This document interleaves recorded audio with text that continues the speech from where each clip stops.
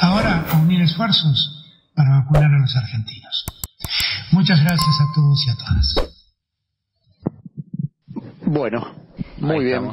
Estamos. ahí habló, este, se escucharon las palabras del presidente de la Nación. Muy buen final, sí, eh, de un presidente es bueno escuchar a un presidente como Alberto Fernández, que siempre se pronunció de esa manera. Es cierto que el fragor de la política a lo largo de la pandemia fue, fue elevando la temperatura, ¿no?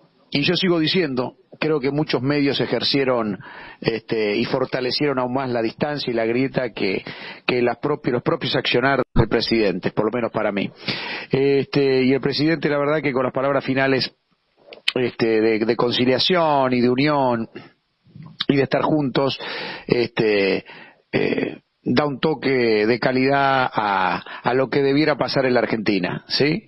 Eh, haciendo alusión al gobernador de la, de la provincia de Buenos Aires, el jefe de gobierno de la ciudad de Buenos Aires, me parece que da un toque, un toque de confianza, por lo menos para mí, yo hablo por mí, ¿eh? Da un toque de confianza, este, que creo que los argentinos debiéramos volver a, bueno, volver, no sé en qué momento estuvimos, pero a estar de alguna forma juntos y que la política sea simplemente una, una rivalidad ideológica y no una rivalidad humana, ¿sí? Como se ha transformado ya hace más de, de, de 10 años aproximadamente, ¿no?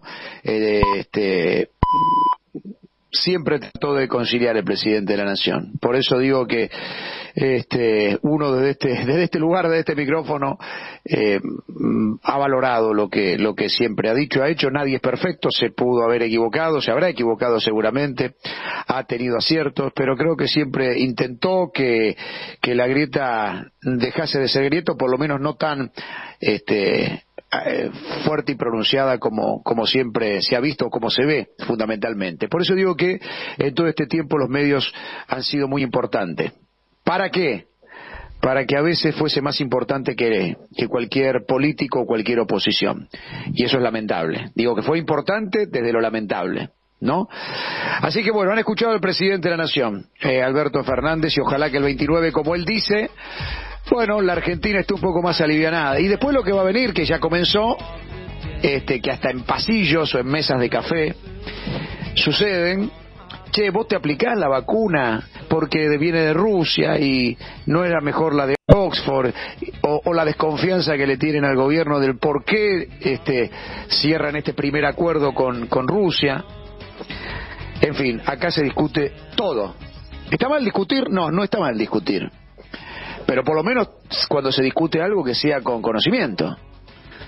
Este, el presidente está y las autoridades están haciendo todo para que para que usted y yo y que toda la gente y que su gente y su familia y sus amigos este, verdaderamente puedan podamos salir lo antes posible como recién lo escuchábamos Alberto Fernández. Bueno, este, acá se duda de todo, ¿sí? Acá se duda hasta de una vacuna que verdaderamente podría eh, bueno, podía darnos un, ese tinte de, de, tranquilidad, de fe, de esperanza y de salud que tanto se necesita. En fin, hay que reflexionar. Noticias, ¿eh? ya venimos, Clos Continental hasta las 8.